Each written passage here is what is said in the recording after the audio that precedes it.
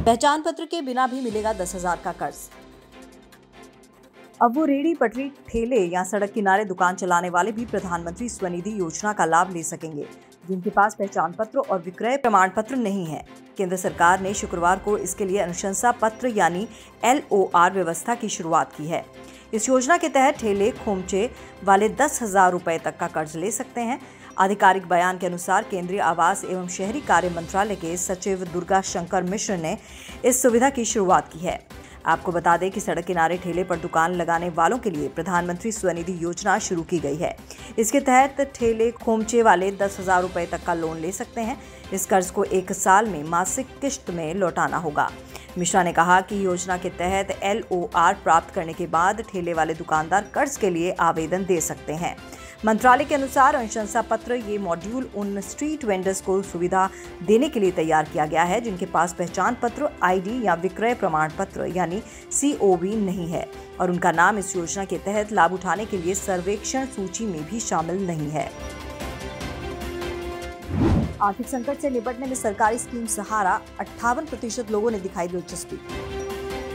Corona काल में केंद्र सरकार ने अलग अलग तरह की स्कीम्स को लॉन्च किया है। इनमें अधिकतर स्कीम्स के तहत लोगों को लोन दिए जा रहे हैं। करीब अट्ठावन फ़ीसदी लोग सरकारी स्कीम्स के तहत लोन लेकर आर्थिक स्थिति को सुधारने के लिए तैयार हैं।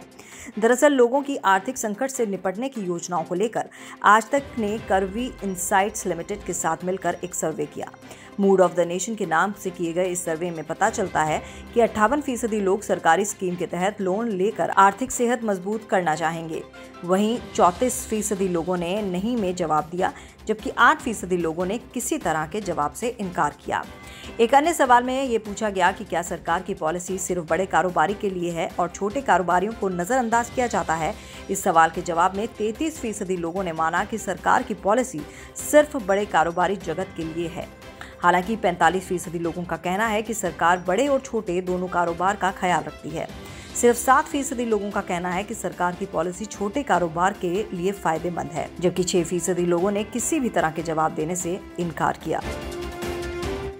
देश का विदेशी मुद्रा भंडार ग्यारह दशमलव नौ अरब डॉलर बढ़कर पाँच सौ चौतीस दशमलव पाँच अरब डॉलर की सर्वोच्च ऊंचाई पर पहुँचा।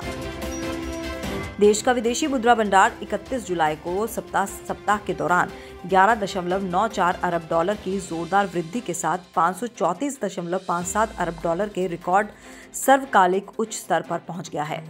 भारतीय रिज़र्व बैंक के ताज़ा आंकड़ों में शुक्रवार को ये जानकारी दी गई।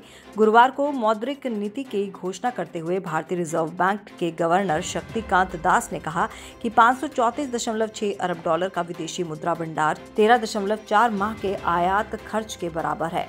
उन्होंने कहा कि वित्त वर्ष 2020-2021 में अभी तक यानी इकतीस जुलाई तक मुद्रा भंडार में छप्पन दशमलव आठ अरब डॉलर की वृद्धि हुई है।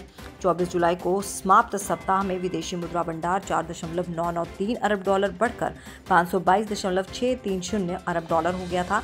इससे पूर्व पाँच जून को सप्ताह सप्ताह में पहली बार देश का विदेशी मुद्रा भंडार 500 अरब डॉलर के स्तर से ऊपर गया था। ओके क्रेडिट, भरोसा व्यापार का।